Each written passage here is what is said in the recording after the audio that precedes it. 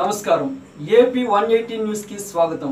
తూర్పుగోదావరి జిల్లా మండపేట పట్టణంలోని గొల్లపొంత కాలనీకి వైఎస్ రాజశేఖర రెడ్డి పేరు పెట్టడానికి ప్రభుత్వం నిర్ణయం తీసుకోవడం పట్ల వైఎస్ఆర్సీపీ నాయకులు కర్రి పాపారాయుడు హర్షం వ్యక్తం చేశారు.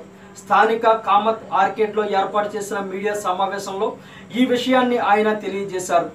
వైఎస్ఆర్ జయంతి రోజున గొల్లపొంత కాలనీకి వేగుళ్ళ వీర్రాజు నగర్ను రద్దు చేస్తూ జిల్లా కలెక్టర్ మురళీధర్ రెడ్డి ఉత్తర్వులు విడుదల చేయడం హర్షణీయమని అన్నారు. రాజశేఖర రెడ్డి గారి జయంతిని పురస్కరించుకుని మరి రైతు దినోత్సవంగా మరి ఆంధ్ర రాష్ట్ర ప్రభుత్వం ప్రకటించిందంటే చాలా ఆనందదాయకమైనటువంటి రోజు ఇది.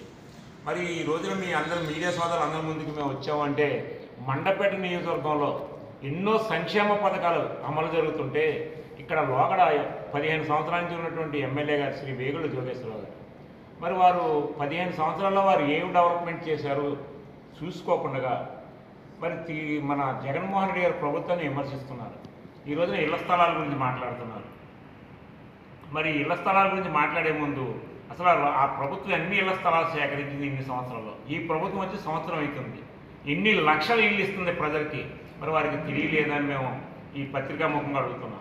మరి అలాగే ఇంకొకటి మండపేటలో గవర్నమెంట్కి సంబంధించినటువంటి స్థలాలకి కానివ్వండి స్కూల్స్ కానివ్వండి వేరే బిల్డింగ్లు కానివ్వండి పదకొండు వాటికి మరి స్వర్గీయ శ్రీ వేగుళ్ళ ఏగుల వీర్రాజు గారు నామ పేరును నామకరణం చేశారు. మరి ప్రభుత్వ దాంట్లోకి ఏదైనా కూడా ఒక ప్రైవేట్ వ్యక్తి పేరు పెట్టాలి అంటే మరి అక్కడ స్థలం కానివ్వండి ఆ బిల్డింగ్ కానివ్వండి మరి దానికి అవే ప్రాజెక్ట్ కాస్ట్ మీద ట్వంటీ ఫైవ్ పర్సెంట్ కట్టి వారు పేర్లు పెట్టుకోవాలి. అదే జాతీయ నాయకులకి ఎవరికైనా సరే పేరు పెడతానికి ఎక్కడ కూడా మనం డబ్బులు కట్టనవసరం అవసరం లేదు. మరి వీరి తండ్రి గారు చనిపోయేప్పుడు చాలా సంవత్సరాలు అవుతుంది.